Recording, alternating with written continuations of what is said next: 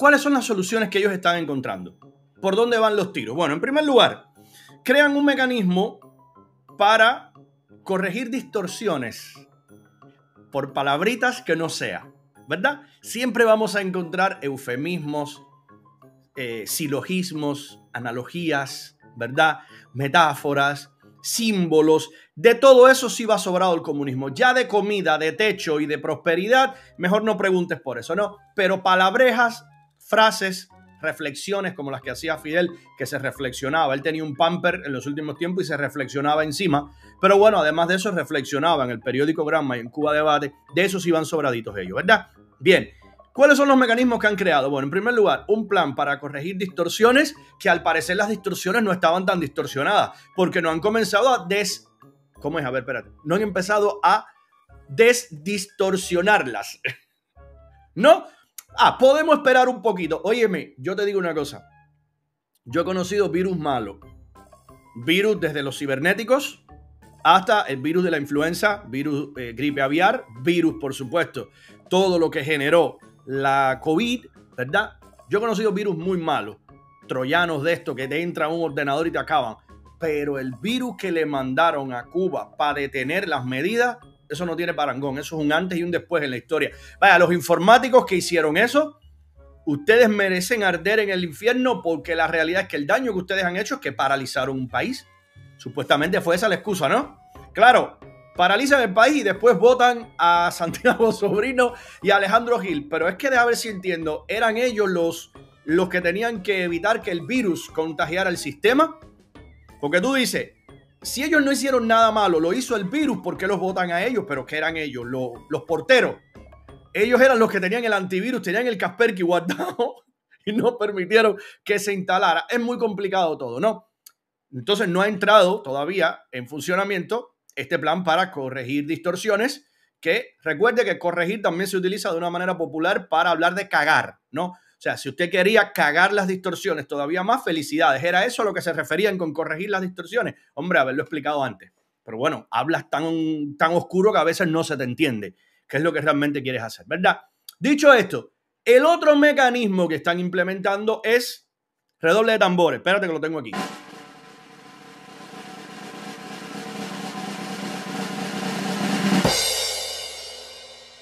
Combatir el delito. Sí, porque lo principal que hay en ese país no es que hay falta de producción, no es que hay una inflación galopante, no es que en la práctica no se produce nada, se tiene que importar todo. No, no, no. El problema es que hay demasiada delincuencia. Entonces vamos a poner el ojo en función de eso. Diario Granma y toda la, prensa cubana, por supuesto, han sacado, han publicado un editorial que ha leído el NTV, yo quiero compartir con ustedes, y después vamos a poner un video de cómo se está precisamente enfrentando el delito en Cuba, que es la máxima prioridad ahora mismo. Miren para acá.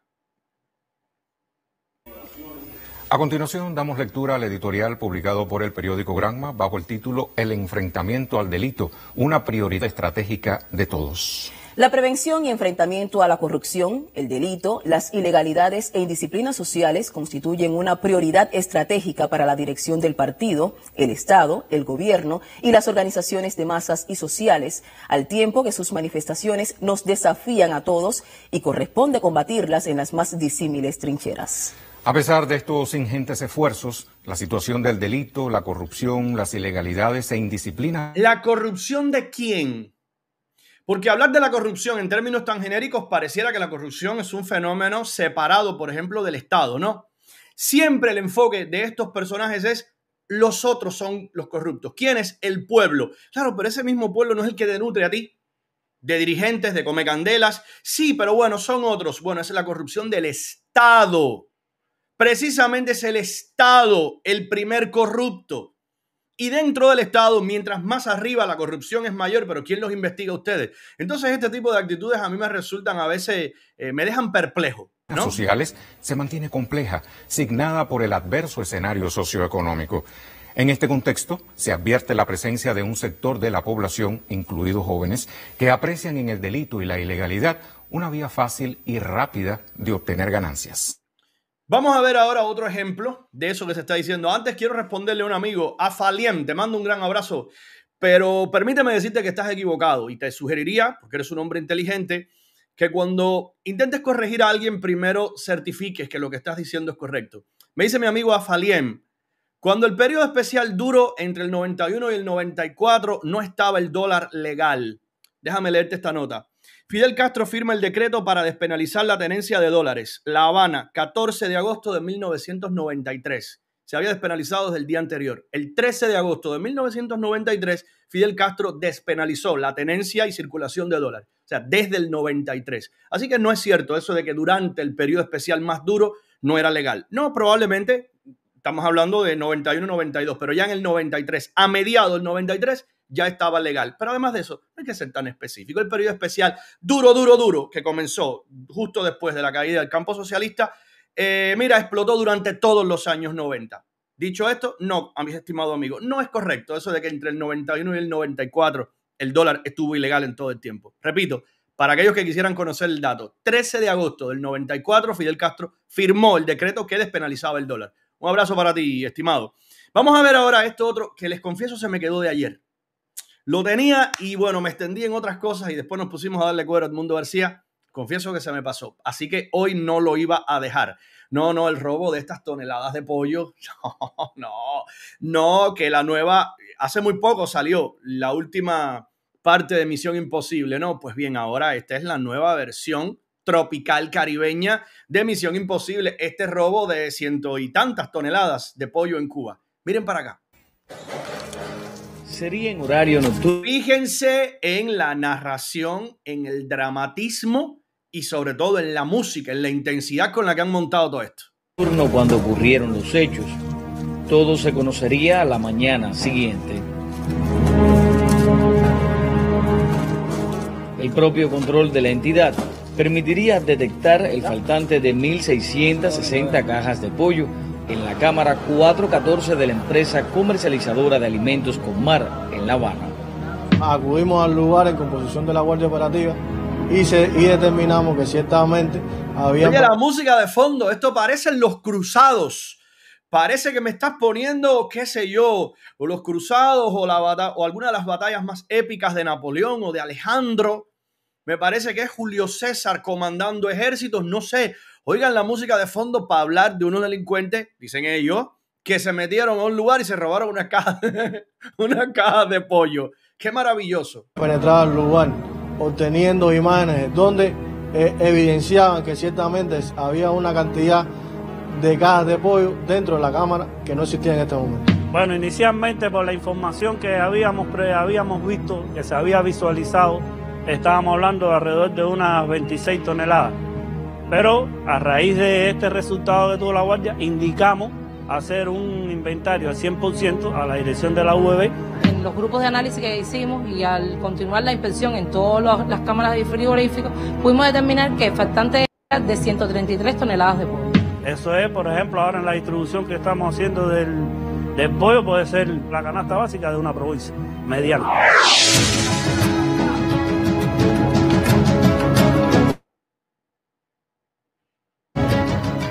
Durante las investigaciones se... Oye, qué interesante esto que está diciendo, déjeme ver, eh, Lázaro Edel. Qué interesante, no había reparado que ese detalle. Dice Lázaro, Fidel se autorregaló el día de su cumpleaños la despenalización del dólar. En efecto, fue el día de su cumpleaños, del 93. El día de cumpleaños el tipo dijo, ¿sabes qué? Déjame regalarme esto, déjame regalarme que empiece a circular el verde aquí. Qué buen dato. Digo porque me doy cuenta que el reporte sale el 14 de agosto, al día siguiente, pero decía ayer. Fidel Castro lo había firmado el día anterior. En efecto, ese fue su autorregalo de cumpleaños. Corroboró una fluctuación de la temperatura de la cámara entre la... Mira esto, esto es una investigación, la fluctuación de la temperatura en la cámara de refrigeración y abrieron era una bóveda. Usted sabe, ¿no? Y ahí bajaba, no sé si lo quieran ver, ¿se acuerdan de aquella película? Creo que se llamaba Entrapment Sí, de Catherine, era Catherine Zeta Jones, eh, Sean Connery. Eh, Ustedes se acuerdan que también era de robo y esas cosas, o bueno, pueden poner Ocean's Eleven, o pueden poner Misión Imposible. Los tipos bajaron, estaba aquello lleno de lasers por donde quiera y tenían que hacer unos movimientos tipo Matrix. Todo esto para robarse unas cajas de pollo. Bien, seguimos. Las 12 y 2 de la madrugada del día del hecho, lo que podría indicar la operatoria de los implicados. Las cámaras de videoprotección aledañas a la entidad también arrojaron movimientos de vehículos sospechosos. En la inspección del lugar del hecho, el sello que se encontró estaba troquelado. Había trabajadores implicados que sustituían los sellos oficiales de la entidad y transformaban esos sellos por sellos que traían desde la calle. Tenemos entendido de que los cómplices de aquí le daban el número y venían con el mismo, con el mismo sello y se volvía a poner el mismo sello, cosa que impedía detectar de forma inmediata que se había forzado o se había entrado en la cámara, porque traían el mismo sello, que lo quitaban de la manera que ya le explicamos anteriormente. O lo picaban o lo dejaban suspuesto los compañeros de aquí para que se quitara de la misma forma. Entre los presuntos autores y como parte de la cadena delictiva se encuentran jefes de turno, tecnólogos, custodios y desocupados ajenos a la empresa. Yo le digo una cosa, para usted trasladar 133 toneladas de pollo en una noche, aquí hay algo en esta historia que no me encaja bien. Y el sentido común me ha indicado casi siempre, puede que no conozcas en el momento la explicación, como decía Desiderio, la causa de las cosas o las causas de las cosas, pero sencillamente sospecha, desconfía, porque aquí hay algo en la historia con esta gente que siempre está truculento. 133 toneladas de pollo, usted tiene idea de lo que está hablando. Usted tiene idea cómo usted traslada eso en una noche, mira, sin llamar la atención, no, esto no, es, no estamos hablando de bobería, estamos hablando de área, de metros cúbicos, de ruido, de gente, de horas. Entonces, aquí había una conspiración en la cual formaba parte todo el mundo y la cadena siempre va a reventar, por supuesto, por los lados más débiles, por los eslabones que sean más sencillos de sancionar. Recuerden, ¿eh? En la actualidad contamos con 30 imputados, 11 en, asegurados con la medida cautelar de prisión provisional. A partir del proceso investigativo se determina 30 entre los cuales nunca van a estar aquellos dirigentes que tienen su pollito asegurado en su refrigerador. Y si ustedes quieren demostrarnos, yo siempre lo voy a seguir diciendo, ¿eh? Si ustedes quieren demostrar que somos unos difamadores, los que decimos eso, hagan lo que tantas veces he comentado que decía mi amigo Ian Padrón. Abran sus refrigeradores, abran sus casas, permítanos ver cómo viven ustedes. Permítanos ver cómo viven estos altos mandos del Minin, cómo viven los primeros secretarios del partido, cómo viven todos estos acólitos. Fíjate, no les estoy diciendo solo cómo vive Díaz Canel. No, no, no, no. Ya ahí llegaríamos a otro punto, cómo vive Raúl o cómo vive Ramiro Valdés. No, no, no, no. Vaya, nos conformamos con mucho menos. Demuestren que somos unos difamadores y que ustedes pasan el mismo trabajo que el pueblo al que ustedes le piden sacrificio. Pero repito, ese pollo, no, eso no es un grupo de delincuentes enmascarados que se llevan todo eso. Sabemos quiénes están detrás de algo tan grande. ¿eh? Mina, que cada caja de pollo se vendía en el mercado informal a un precio de 3.800 pesos. Era eh, vendido ilícitamente en casa de personas que se hacían pasar por TCP o trabajadores de mi vida. Las ganancias ilícitas que obtenían estos, estos implicados en, en este delito oscilaban entre 50 y 200 mil pesos en dependencia del nivel de participación que tenían cada uno de ellos en la actividad delictiva. Durante los ocho registros domiciliarios que se realizaron en los inmuebles de estos imputados, se obtuvieron, se ocuparon varios bienes que fueron productos, fueron comprados producto de los hechos delictivos que cometían estas personas, como laptop, computadora, eh, split, eh, aire acondicionado, televisores, neveras donde los imputados guardaban la mercancía, es decir, las cajas de pollo que fueron ocupados en el lugar del hecho. También se ocuparon alrededor de 3 millones de pesos y otras monedas como dólares americanos. Como resultado de las medidas aplicadas, fue separado de la entidad del director general y la dirección de la UEB Habana. En este, como en otros casos, y de acuerdo a las garantías legales, la Fiscalía General de la República se mantiene con el control del proceso.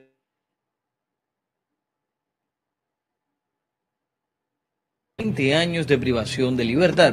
Se podrían ascender con penas máximas de hasta 20 años de privación de libertad, según las circunstancias agravantes y atenuantes, el grado de participación, las características de los imputados y otros elementos.